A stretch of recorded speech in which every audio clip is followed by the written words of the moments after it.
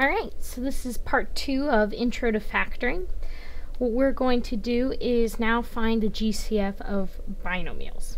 And you can see I put it in quotations because what I'm going to give you is not really what we would call a binomial, but it's like a piece of a binomial. It's a little funky. So what we're going to look at is x plus 1 and the binomial x plus 1 squared. So we want to find the GCF between these two things. Now, the parentheses around these two expressions are very important here. They kind of are giving me a, a nice segue into saying this is prime. And what I mean by that is look at x plus 1. Do we know what x is? No idea. You just gave me x, which could be anything. It's an unknown.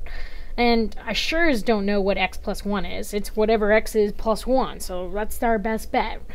Same deal over here. We have x plus 1, that quantity squared. Sure, we could FOIL it out, but all we do know is we have x plus 1 times x plus 1. That's what it really means. We can kind of almost treat this like we did with variables, where we collect what they share in common. Well, he has an x plus 1. This guy has one of them. Sure, he has another one, but this guy doesn't have it. So the thing that they share in common between these two is x plus 1. And I'm going to stress to you to keep it in parentheses. They're very useful. They're not important here, but they are very, they make it clear um, on what you mean the GCF is. So I'll get in a good habit of writing your parentheses anyways. Now that feels funky to you, so maybe let me give you a little bit nicer example. It won't be with binomials. Let's say I had x and x squared. Do I know what x is? No, no idea. Well, I'm going to call him prime, right? And x squared, I know I have x times x. Well, the only thing they have in common is an x. Well, just change that x there to an x plus 1 and we have the same problem as before. So when we collect binomials, so to speak, and we're using this term loosely because we know this doesn't turn into a binomial, uh, we are collecting the smallest degree of them, just like we did before. So let's see an example where they ask us to factor. And let's get a little ugly. Let's say we have x cubed times x plus 2 plus 3 times x plus 2. Now, at first glance, this is beyond hideous to us because you're like, oh my god, look at all the terms. I got to distribute stuff out. And I'd say, stop, stop, stop, stop. take a step back. Do you notice anything that kind of looks the same? I know my 2 looks a little sad, but it is the same as that 2 over there. We look at it and we see, ah, well, maybe you're onto something. There's x plus 2 and there's an x plus 2. They're the same. I mean, what's going on between these things is multiplication. So it's already written as a factored for us. We have something times something else. That's factors. Factor means to write as a product. But now we got a problem. There's a plus sign here. So we need to factor out a GCF. Well, what do these two share in the common? That x plus 2. So this is my GCF between the two. Now when I factor out the GCF, make sure you have those parentheses. Let's find out what times x plus 2 will get us back the very ugly thing we started with. So let's see. And this is much better in person than it is to describe online. So look at x cubed times x plus 2. I'm saying I already have this x plus 2, right? He's done. What's left behind? Well, that x cubed. All right, plus. Now we have what times x plus 2 will get us 3 times x plus 2? We already have that x plus 2. It's done. We have it. What we're missing is the 3. So this is our now our factored form. And you might not believe me, but you know what? Go ahead, do this on your own, check it by foiling, and then make sure you're in descending order, okay? Alright, now this leads us to a very nice method in which we might have issues with factoring things that have four terms, so to speak. And let's, we'll start off with a nice example. Let's say we got asked to factor 20x cubed minus 15x squared plus 8x minus 6. Now, when we first look at this guy, we're going to see if there's a GCF. So let's see, we got 20, 15, 8, and 6. Let's go ahead and start with the smallest number. 6 has 2 and 3. So let's see, can 2 go into everybody? 2, nope, 2 can't go into 15, no good. How about 3?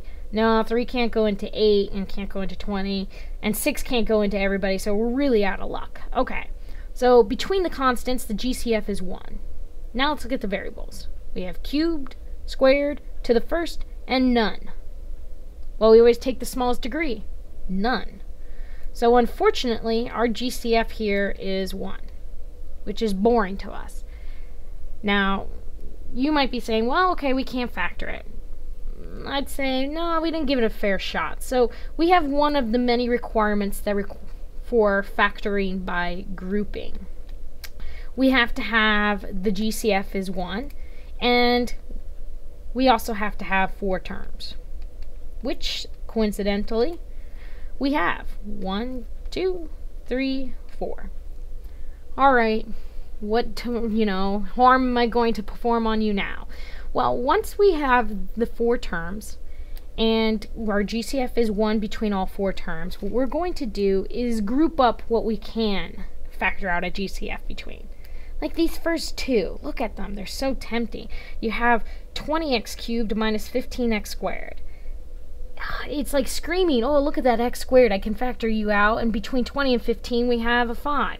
So what we're going to do is factor out the GCF between the first two guys, which is 5x squared. And then left behind we have 4x minus 3. Alright, and now go to the last two guys. And they maybe not as tempting as the first two, but definitely are jumping out saying, hey, look, we both share a 2 in common. Well, we got a plus sign, so be careful. Let's factor out a 2. 2 times what gets us 8? Well, 4x.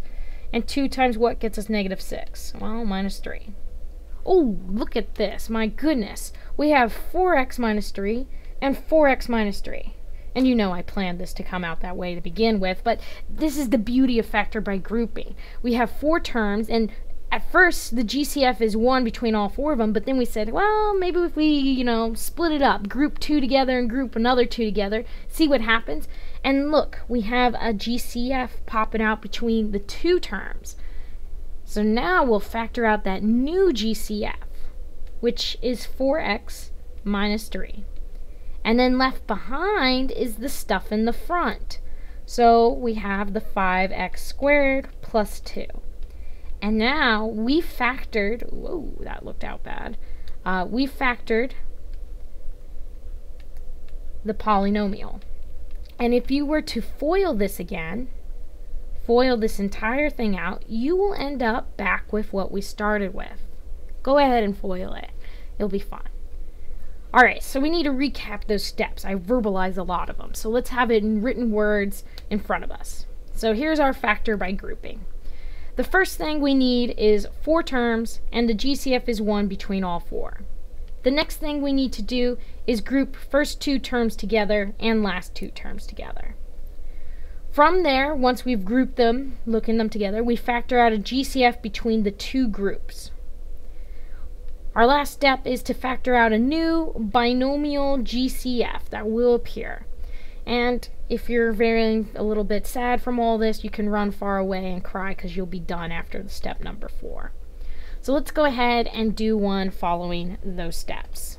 And I'm sorry, you could go back and pause it so that you can write those down if you need to. So, our first one, and actually last one we're going to cover in this video, is to factor 2z cubed plus 2z squared plus 3z plus 3.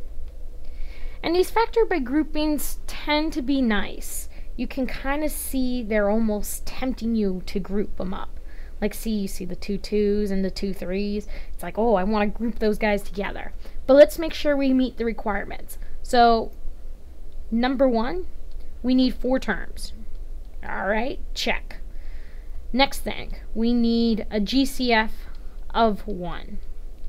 Let's see, we got z cubed, z squared, z, no z's, okay, no variables, we're in the clear there. 2, 2, 3, 3. Well, 3 can't go into 2 and 2 can't go into 3, so all that they have in common is 1. Excellent. So the first criteria is met. Next step, we're going to group them. Group the first two together and the last two together. I recommend always doing the first two, last two. It actually doesn't really make a difference if you want to group them slightly differently. You can jumble it up a lot um, and still factor by grouping fairly nicely.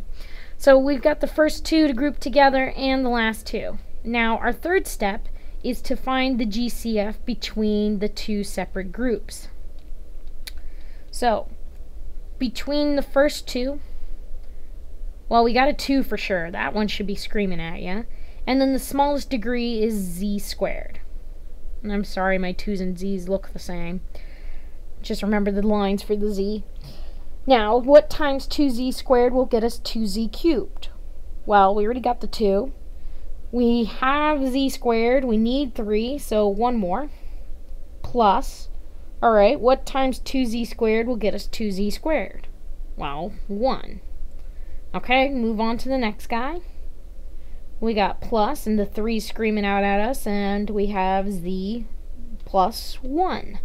And there's where the magic is. And you can start patting yourself on the back because you're like, man, I must have done this right. There's no way I could screw up and still end up with the same binomial. And you'd be right. It's very difficult to do that. So we'll factor out this new GCF, which is our final and fourth step, that's z plus 1 and left behind is the stuff in the front of the z plus 1. So we have 2z squared plus 3. And we are done. So that is how we factor by grouping. And that's it for chapter 13.1 section.